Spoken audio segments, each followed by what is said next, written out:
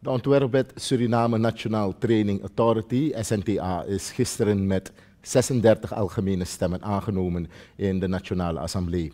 Volgens Rosselli Cotino, voorzitter van de commissie van rapporteurs, heeft Suriname met de aanname van de wet een belangrijke stap gemaakt naar verbetering van het beroepsonderwijs en trainingen in het land. Cotino zegt verder dat er ook een grote stap is gezet richting het aansluiten van de behoeften van de aangeboden opleidingen en trainingen op de arbeidsmarkt.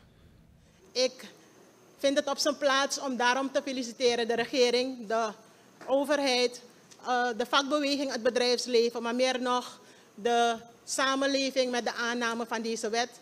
Ik dank in één adem alle, iedereen die heeft gewerkt aan de totstandkoming van deze wet. De commissie van rapporteurs, maar ook de juristen en alle deskundigen, de werkgroep SNTA en iedereen die uh, dagen en uren heeft besteed aan deze wet om het tot een goede werkbare wet voor Suriname te maken. Mijn hartgrondige dank als voorzitter van de commissie van rapporteurs voor de totstandkoming van deze wet. Dank aan ieder. Dank u wel.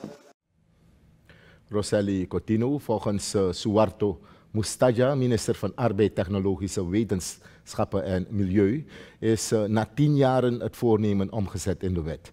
Deze wet beoogt volgens de bewindsman dat de kwaliteit van het technisch onderwijs en trainingen inderdaad wordt aangepakt, zoals met elkaar is afgesproken in de regio.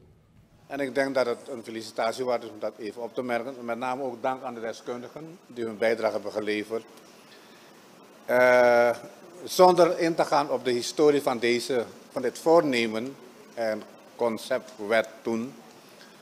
Uh, in te gaan wil ik zeggen dat het, we toch vanuit arbeid gezien, uh, vanuit de integrale benadering, wij toch heel happy en content zijn met de uitkomst van de deliberaties die uiteindelijk leiden tot dit wetsproduct.